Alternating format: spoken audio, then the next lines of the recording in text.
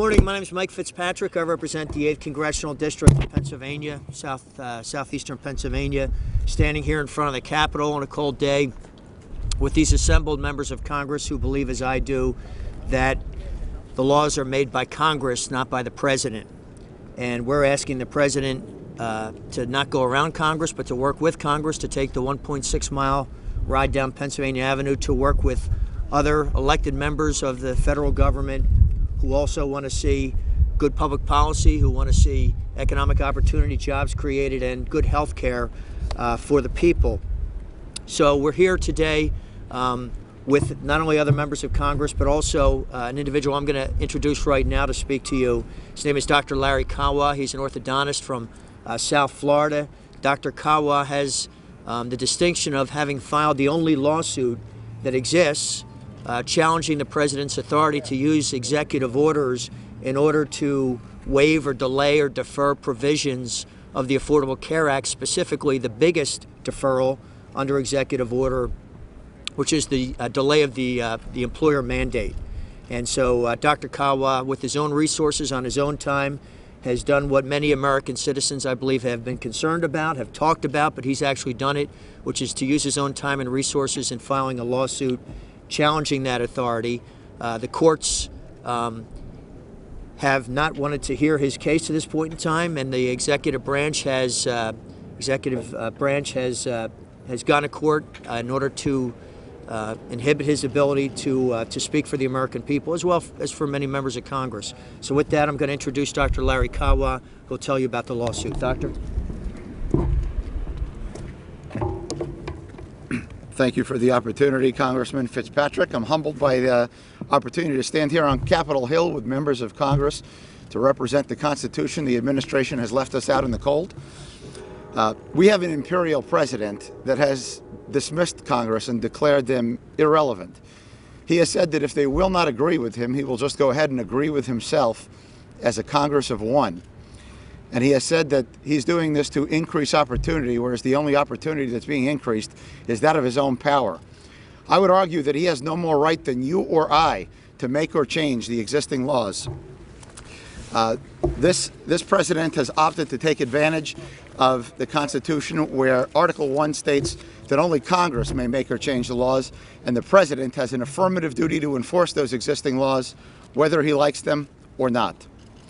Uh, of the 29 illegal executive actions under Obamacare, the largest and most important is that of the employer mandate.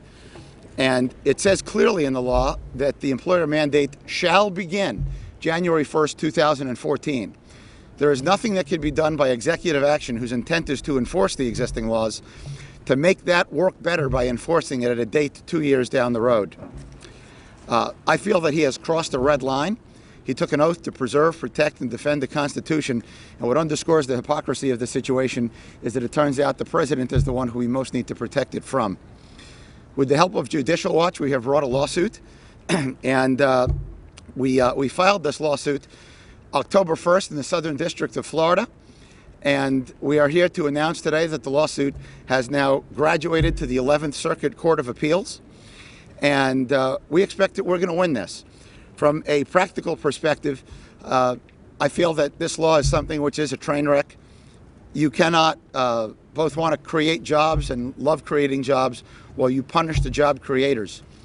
In waiving the employer mandate illegally, not only has he given a tax break to the wealthy on the backs of the middle class, but uh, he has he has done what flies in the face of the Constitution, and we will not allow that.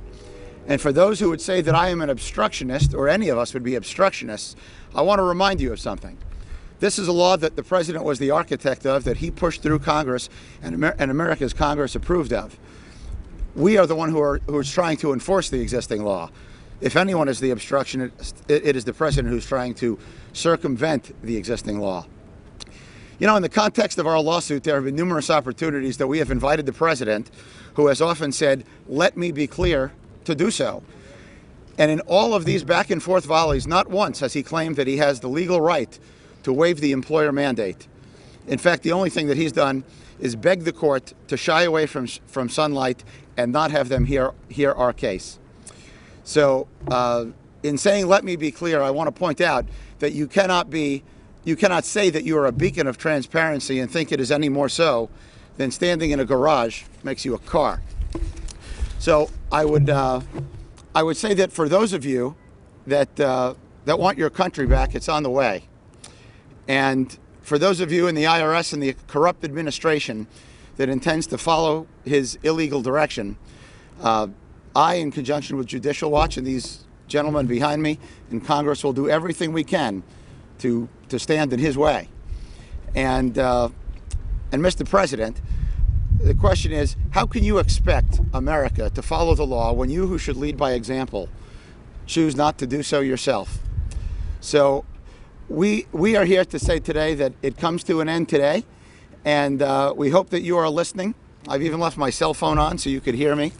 Uh, and in closing, I would say that you can keep the con- you if you want to keep your pen and you keep your phone, you go ahead and do that. We will keep the Constitution, and we will stop you because we are Americans. God bless all of you. Thank you for your time. God bless America. Thank you. I will now introduce Congressman Pittenger. Thank you. Thank you, Congressman. Thank you, Doctor, for your great work, and Congressman Fitzpatrick for your leadership. You know, in the good wisdom of, of our founding fathers, they created checks and balances in, in our government.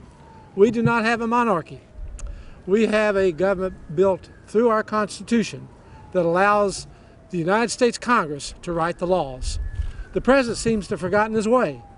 Uh, prior to 2008, when he was elected, he was a constitutional lawyer. In fact, he even reprimanded George Bush for his acts of executive orders. Yet, what the president's done has been far more egregious in terms of writing policy, not just appointing people to positions, but writing a major policy that affects 20% of our entire economy, affects every family, affects every business.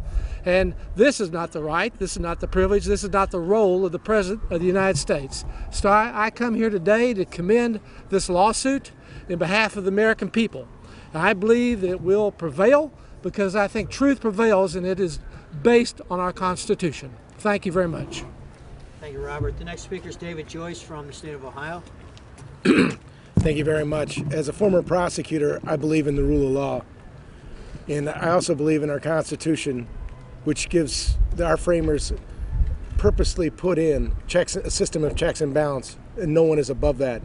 And when one person goes above that and, could- and bypasses Congress to do something like this, it's a shame that Doctor has to take the matter into his own hands and file a lawsuit to get what recourse should be afforded to him by our Congress. Thank you.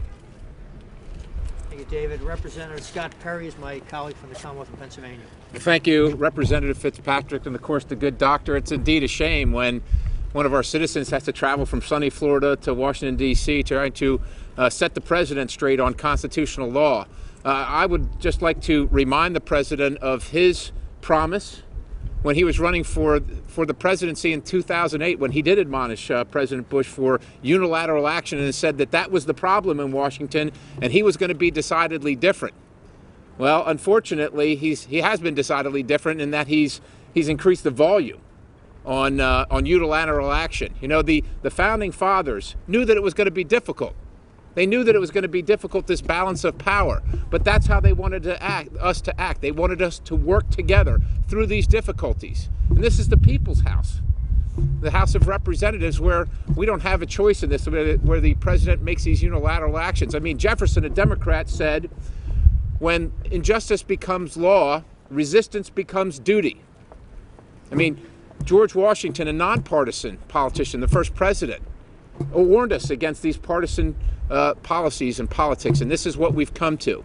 Uh, we are just here to remind the president to work with the Congress. So let's work together and let's find the common ground for everybody, not just the common ground that he dictates to all of us that he thinks is the right thing to do. We're all working together as Americans, uh, and, and that's how we should work, and that's how the system was set up. The system works well when we work within it. And we would just uh, remind the president with that of his promise to the American people when he was running for this office and to abide by that promise. Thank you.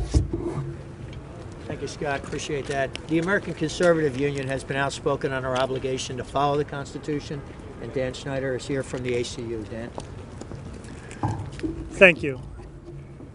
Alexander Hamilton at our Constitutional Convention actually offered an amendment that would make the president uniquely powerful, that he would be able to veto any laws that came before his desk, before or after, and that he would serve for life.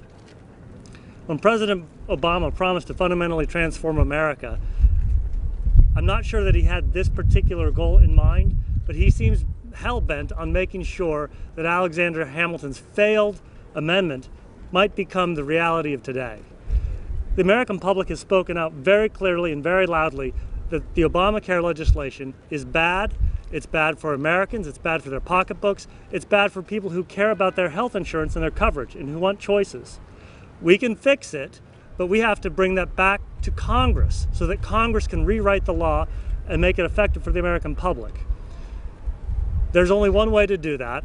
The president needs to comply with the Constitution and do this the right way. Thank you, Dan. The last speaker before questions is Michael Bekesha. Michael is one of the attorneys at Judicial Watch who's been involved in the litigation. Michael? Thank you. No one wants to hear from an attorney, so I'll keep it brief. Judicial Watch filed this lawsuit with Dr. Kawa to make sure the president and the American people know that the rule of law needs to be followed. The law is clear. The mandate was supposed to take effect on January 1st, 2014. Uh, July of last year, the president decided that it wouldn't be good policy, it wouldn't be good politically, so he postponed it by a year. Just a couple weeks ago, he decided it wouldn't be good again, so he postponed it for some employers for another year. And, you know, it's unclear if he's going to do this again or what other laws he will choose to ignore. So Judicial Watch is here to make sure the president knows that the rule of law must be followed. Thank you.